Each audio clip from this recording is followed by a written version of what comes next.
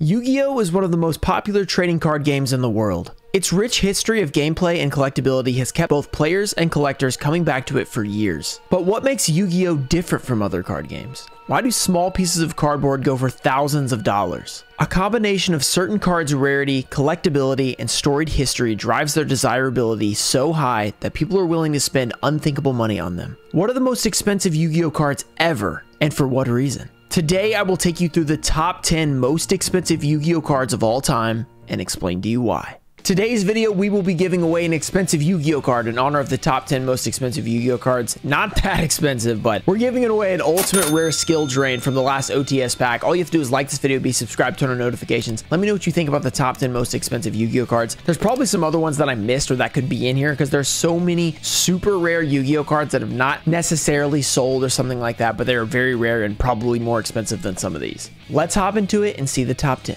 For our number 10 most expensive Yu-Gi-Oh card, we have Stardust Dragon Ghost Rare First Edition PSA 10. So there's a lot of different things we're going to be talking about in today's video, why they're expensive, what makes them expensive, and for this one, grading makes this much, much more expensive. For main set cards or cards that are printed in like a regular old set, there's lots of copies of them because they print so many boxes and even rare cards like Ghost Rares that are one every 12 boxes. There's a ton of them overall because they print so many different boxes. Like if you print 2 million boxes, you know, every one every 12 boxes, there's still a lot of copies of that card. So when you compare like main set cards to like prize cards where there's only like a hundred of them or something, there's no comparison in terms of the actual number of cards, making it basically impossible to be valued anywhere close to them. But when you get them graded and you look for the PSA 10 gem mint condition, there's less and less of them because not every card printed ever gets a 10. There's people use them, get damaged and all that stuff. So with the population report of like the PSA 10s, the BGS 10s and stuff like that, that increases the rarity of that specific card. It's still the same card, it's just in way better condition.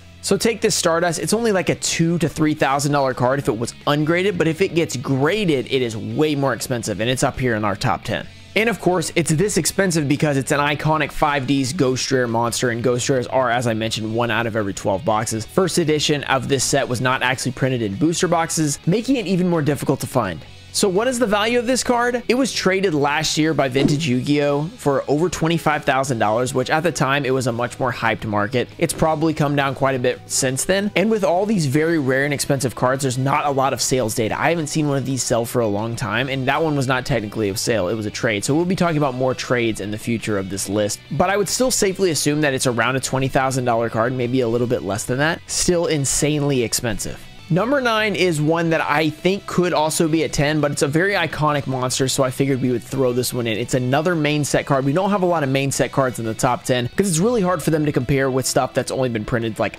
10, 20, 100 times versus thousands, as we mentioned in the previous. This card is Dark Magician Girl PSA 10 First Edition, one of the most iconic monsters in Yu-Gi-Oh! and it has sold for upwards of $20,000 in the past. But because of all the prices coming down recently, it's definitely not worth that anymore. I would say it's around 13 to 14,000 currently. So it might actually be less than the Stardust, but I believe that it did sell for upwards of the Stardust price at one point.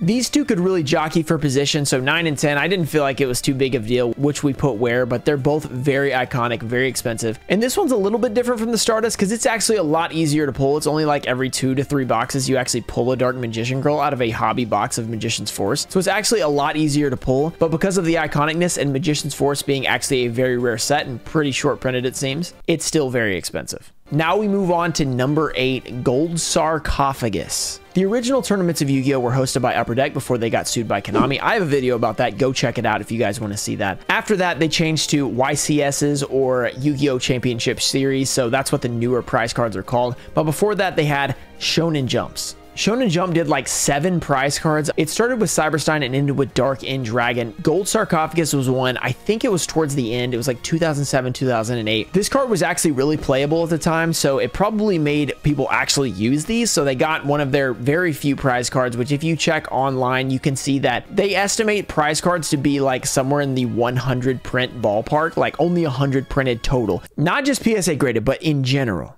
And for a card like this, the PSA grade really doesn't matter that much. A recent PSA 8 sold for $17,500. So you can imagine what one would go for it, like a 9 or a 10. The condition doesn't matter so much for a card like this because it's so rare in general just to have one of them that actually having a gem mint 10 isn't that important, but still a crazy rare card and it just recently sold in PSA 8. So I'm assuming that a PSA 10 would be worth quite a bit more than a Dark Magician Girl or of course the Stardust Dragon in PSA 10. And 9 versus 9 and 8 versus 8, this blows those out of the water. Like a Dark Magician Girl PSA, it's like $2,000. So it's not even close. Number seven, a card I just mentioned, Cyberstein PSA 10. This is a Shonen Jump prize card, the first one ever. Printed in 2004, I believe. You could get it for winning a Shonen Jump championship. And they gave out a few more of these on Upper Deck Day in 2009. So there was actually less copies of this. And then they started handing them out on Upper Deck Day right before they lost the rights to Yu-Gi-Oh! Probably giving a jab at Konami because they were mad. So they were like, yeah, we're giving out more prize cards. But this card in PSA 10 has recently been traded on Instagram twice, actually, for around $30,000. It's interesting because that Gold Sark was an 8 and it was 17,500 and this is a 10, it was around 30,000. So I don't know necessarily if this would be less than the Gold Sark. I assume that the very first prize card would usually fetch a premium over the Gold Sark, but I haven't seen a Gold Sark 10. I don't even know if there is one. I'd have to check the pop report. I'm sure I'm popping it up on the screen right now so you guys can see how many PSA 10 9s and 8s there are. $30,000 and this was a very recent trade like in the last couple of months and it's verifiable through people that I know. So $30,000 card pretty surely at this point. Next, we get into something that you've maybe never heard of. Number six is a common card. Yeah, I said it, a common card. It has no rarity. It's not super rare. It's not ultra rare. It's not secret not prismatic starlight. It's nothing. It's a common.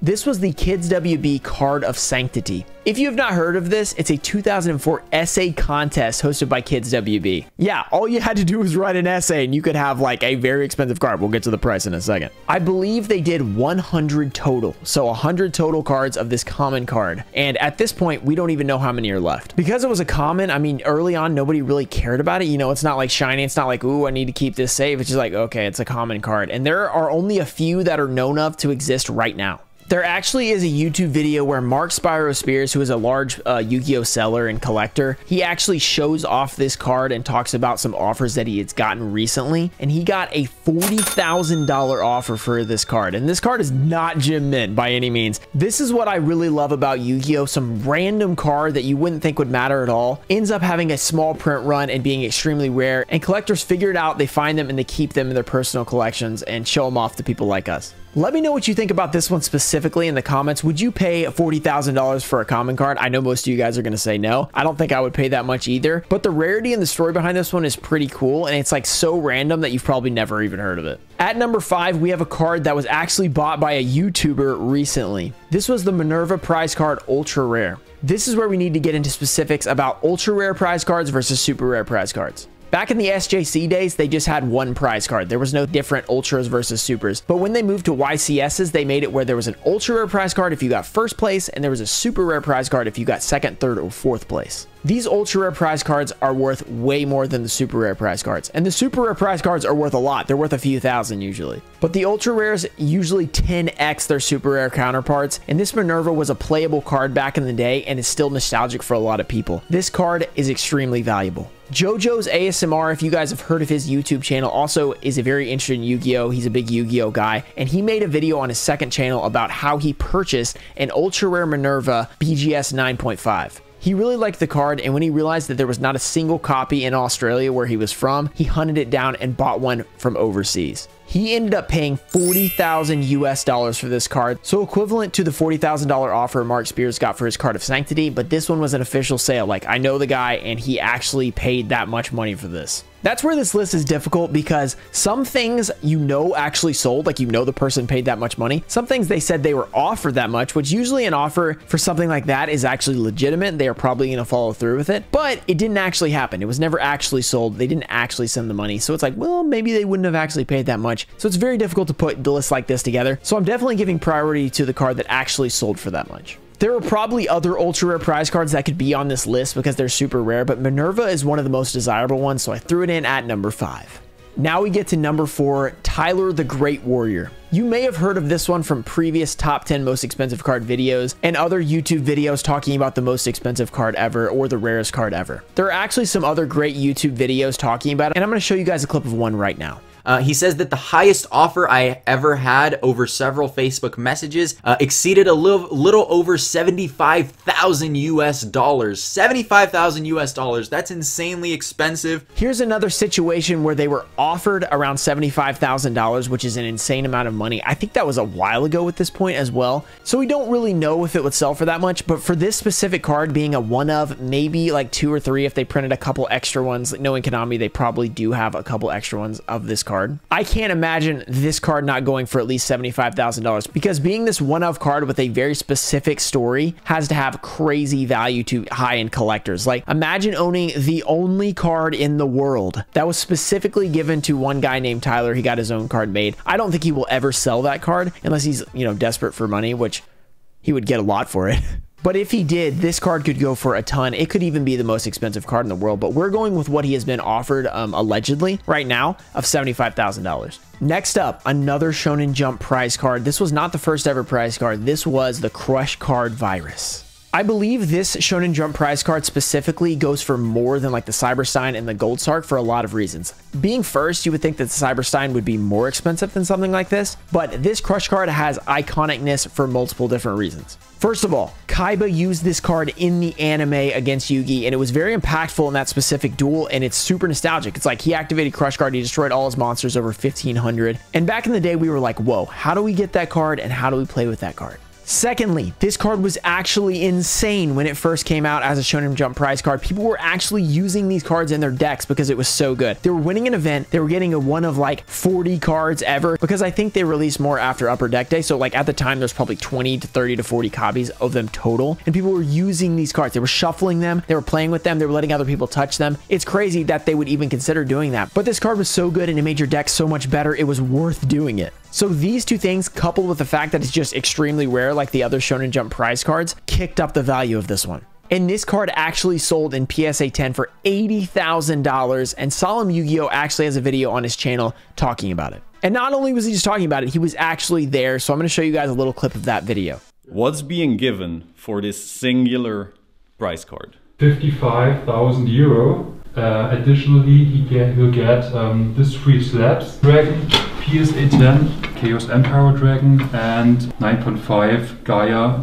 in Wavy. Okay, so it's cash plus these cards, correct? Yes, And this would equal this $80,000 crush card. approximately yes. $80,000 for a Yu-Gi-Oh card. That's insane. Oh, but there's there's two more. At number two, we have the Blue Eyes White Dragon prize card. Now, you might have heard of this card from Team Samurai X1's video. It was showcased by Jesse Kotton and Team Samurai when it was acquired and actually sold. So we have a price-ish on this card. This card was a Blue Eyes White Dragon Ultimate Secret Rare prize card for Duel Links in 2019. Supposedly, there was only one first place version given away in this. In the video with Team Samurai, Jesse said he brokered the sale for someone to, I believe, Steve Aoki. He mentioned Steve Aoki in the video, but isn't it doesn't seem like he actually says it straight up. So I think it was to Steve Aoki for six figures. He doesn't say the actual name. At the time, he's saying it's the most expensive car in the world because they were talking about LOB Blue Eyes being $85,000. He's like, oh, it's easily more than that. This was sold for six figures guaranteed. He didn't actually give the numbers, so I can't actually like put a number on it. Unfortunately, it would be great for this video because we could see exactly where it lands. And it might have actually landed at number one if I had known the exact price, but I don't. Regardless, I think this was the only Blue Eyes White Dragon prize card. Like that's an actual Blue Eye. So this is insanely awesome and rare. And if it's actually a one of insane card, like it may or may not ever come up for sale again. So this is a really cool number two. And finally, at number one, we have the first edition Blue Eyes White Dragon from LOB. And you might be like, wait, when did this sell for more than six figures? And that was another problem I had with this list. So many of these things happen off of eBay, off of auction sites, and you don't actually see them publicly. You have to hear from other people that were involved or heard about it. I'm not going to go into the details, but a friend of mine was involved in this trade. It was like a trade and buy at the same time. And this Blue Eyes White Dragon, not PSA, BGS 10, so three subgrades of 10 and one of 9.5. It wasn't a black label, which would have been all 10s, which would be insane. This went for $159,000. There was some trade value and some actual cash spent. Insane. And as we said with the last one, it could have actually been more than 159,000, but we don't know because he didn't actually give the price away. And you might be saying, wait, what about the Japanese stainless steel Blackluster Soldier that I've seen before? That's the most expensive card, 10 million, 2 million, whatever you want to call it. There is no real evidence of this sale. There's like people saying allegedly it sold, but like I don't even know who was involved at all. So some of the stuff you might say, well, it was alleged here because you said that some person did this. Yeah, but I know most of these people, or there's like a video on it or something like that. There's nothing on this Blackluster Soldier. It's just people saying, oh yeah, it, it might have sold for $2 million. So I don't know if that's real. It could have happened, but it was so long ago, it seems unlikely that someone would spend so much money on a Yu-Gi-Oh card before like the prices were even close to that. They would have spent like way, way, way more money than any card had ever sold at that specific time. So I don't know if I believe that sale or not, but it could be real. There are tons of other cards that probably deserve to be on this list, so let me know in the comments which ones that I missed and which ones should have made it. And if you enjoyed the content, make sure to subscribe to the channel for more epic videos like this. Shout out to TCG Trusted Cards, Tonefo Show, Tomato Juice, Daxter, JT Cho, Clayton Fitzgerald 87, Brett Palmer, Puffins of Doom, Ernesto, Deonda, Stanley, Mimigecko, Ian Musu, Junior Barding, John Noland, and Ananatai Show. Thank you guys for supporting the channel. See you guys next time. Peace.